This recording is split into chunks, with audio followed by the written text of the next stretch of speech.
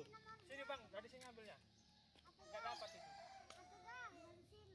Syederalun, Desa Makmur Jaya, Kecamatan Simpang Kiri, Kota Subulu Salam, dalam sepekan terakhir ini mendadak viral. Hal ini terjadi setelah seorang pemuda bernama Putra membuat ide kreatif dan unik dengan membuat lukisan tiga dimensi di atas jalan yang terletak di RW 1.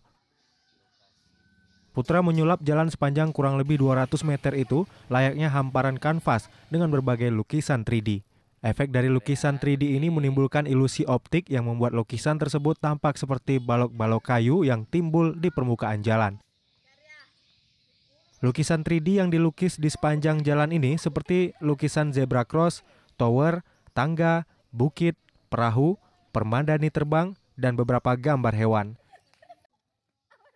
Lukisan kreatif tersebut kini banyak dikunjungi warga sekedar tempat berfotoria.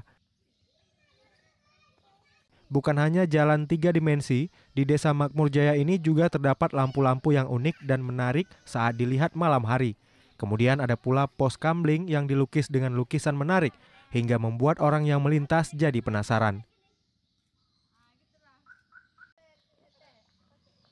Dari Subulu Salam, Khalidin, Serambi On TV.